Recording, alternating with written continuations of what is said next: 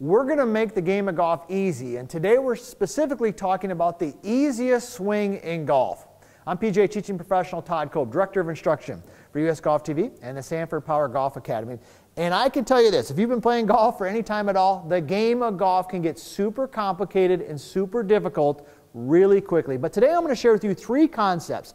Three concepts that can make the game easier and especially as you get a little bit older, all right, and you don't maybe move the way that you used to, you want to stick around because this is for you. So let's dive right into it. The first thing we're going to talk about is what I like to call the vertical line. Okay, now most traditional instruction that we see today is it's not bad instruction, but it's instruction that's basically built around what some of the best players in the world do. So I'm set up right here, and let me kind of dive right into this because I want to give you some of this really good information and simplify this golf swing. So as I'm set in here, I'm using my live view. Whenever I'm doing some lessons, I love using my live view because it gives automatic, instant feedback. So what we're talking about here is in the setup, I've got a red line you'll see there, and I've got a green line. Now, typically, a lot of golfers are told in traditional okay, coaching is to get the club really around their body and super flat. So notice how my hands work in and around and kind of by that red line, all right? Now, when you do that, that's not necessarily a bad movement, okay, but it does require certain strength and certain flexibility. And I don't think, in my opinion, it's the easiest swing in golf. And that's what we're talking about today. How do we make the game easier? What I like to tell my students, especially as they get a little bit older, is let's swing the club more in a vertical line swing. So I put up the green line there, and I like them to feel that their arms and hands work more vertical. See where my hands worked there? Now, as I do that, first of all, it's way easier on my body. I can feel that immediately. When I was going red line, I could feel some tension in my back and my hip. But I'm set in here, I just go green line right there. So let me go ahead and hit one. I want to show you how easy that is. Here we go, vertical line. Okay, super easy and easy to repeat. Now, where did this come about? Because we've developed an entire system around this concept of the vertical line swing system. And when you think of some of the great players of all time, we're going to talk about the finish position here in a second, but a lot of them, not all of them, but a lot of them swung the club straight back and up. Okay? They didn't swing the club really low and around their body. Just in, over the last probably 10 or 12 years have we started to see a lot of this rotation. So the first tip I want to give you is feel like you're swinging the club more in a vertical line. So you're set up here. Here'd be old and traditional. Like I said, it's not bad. Just requires certain flexibility, and I don't think is the easiest way to do it is to swing the hands low and around. See that? Okay, that's I can feel some pressure right now in my back. And I can hit it like that. Let me try it. Yeah, but I really had, notice how I really had to rotate my body to do that? I think that requires a lot of practice. In vertical line, set up right here, here we go. There it is. Green line, straight back and up. Okay, much easier, more arm swing freer and flowing. So that's tip number one. Now, tip number two, and hey, let me know how you feel about that. Leave a comment. If you agree or disagree, that's okay. Or maybe a certain tip that's helped you play golf and made the game easier. And be sure to subscribe. Join us here at US Golf TV and our family because we're putting out great content all the time and you got to ring the bell so you know when we put new content out. But let's talk about number two.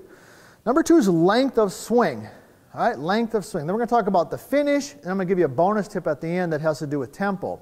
Let's talk about length of swing. Let's, for example, think of, let's talk about two clubs in our bag. Let's talk about the driver and let's talk about a pitching wedge. Now the driver is the longest club in your bag. Pitching wedge isn't necessarily the shortest club in your bag, but it's definitely one of the shorter. And think about which one of those two, the pitching wedge or the driver, is easiest to be consistent with. Well, of course, the pitching wedge is, right? And you might be thinking to yourself, well, of course, Todd, that's because the pitching wedge doesn't go as far as the driver. And you're 100% correct. But when we talk about the, the club getting longer, anytime the club gets longer, it gets more difficult to control. So the same concept can really apply to your golf swing. That's tip number two. If you want to have an easy golf swing that you can repeat, is to use a swing that's more abbreviated. So here we go. I got live view set up again. And when I swing this club, if I just abbreviate my swing, see that right there? It just feels like it's a three quarter swing. Let me go ahead and just right there. Okay, that's super easy to repeat, and it's something that I can do with not a lot of practice. The longer my swing gets, let me hit one a little bit longer. it opens up the door for more challenges, all right? So here we're set in there. I'm to make a longer swing.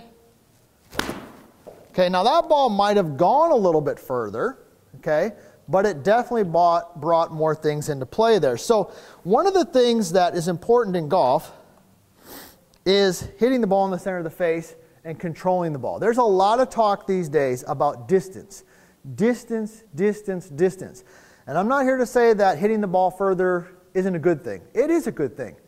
But if you're not controlling the ball, all right, you're going to have problems. And I want you to think about this for a second. Think about your rounds of golf when you play. When you have a bad day, okay?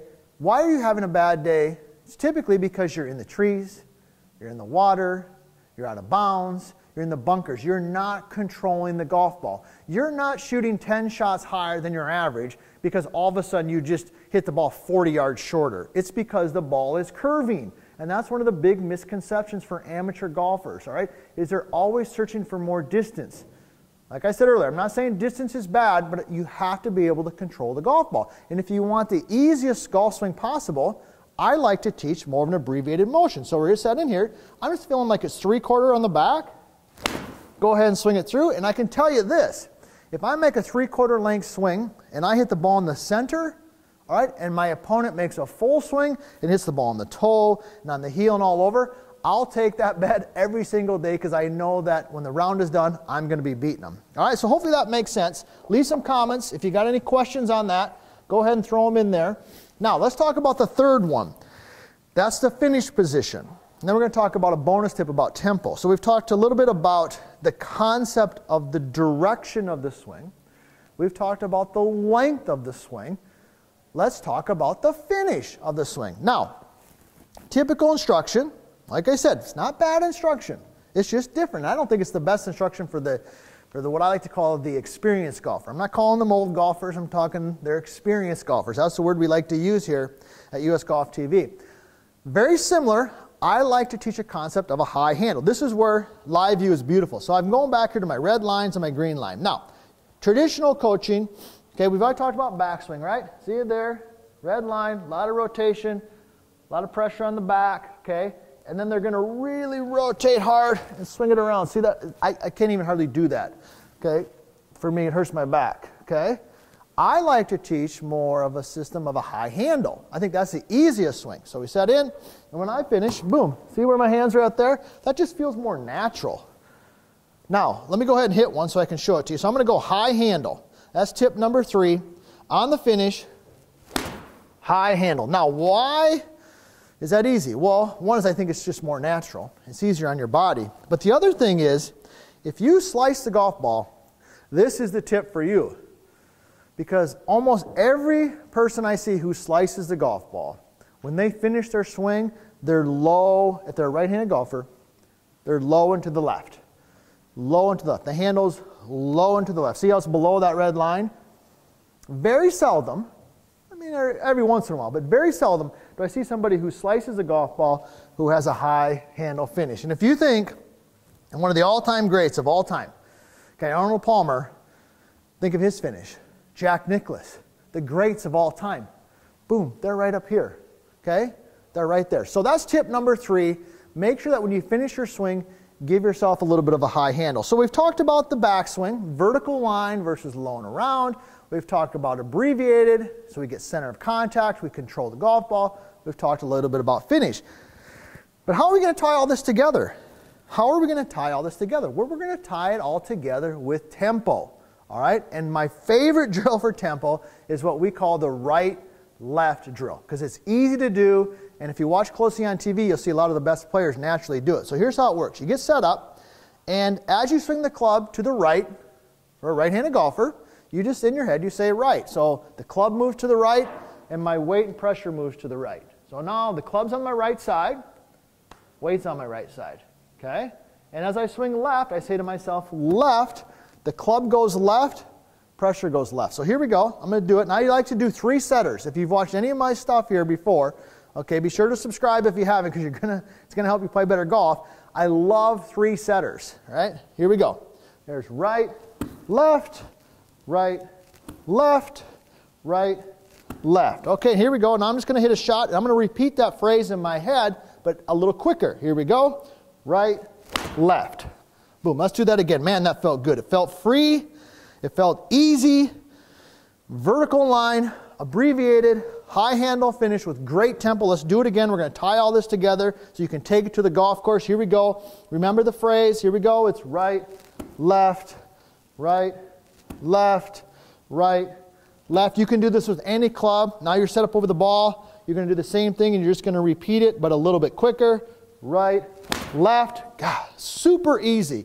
You want to keep the game easy. You want to keep it simple. These couple tips, along with that little drill at the end, will help you do just that.